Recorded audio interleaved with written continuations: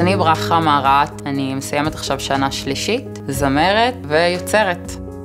בחרתי באונו בגלל האווירה שקיימת פה, אווירה שהיא מאוד תומכת ומפרגנת.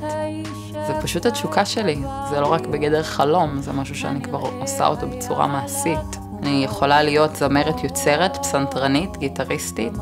יש לך את כל האפשרויות. פשוט סביבה, סביבה שאני מתפתחת בה. זאת אומרת, זה השנים הכי יפות שלי, ואני מתעצבת פה.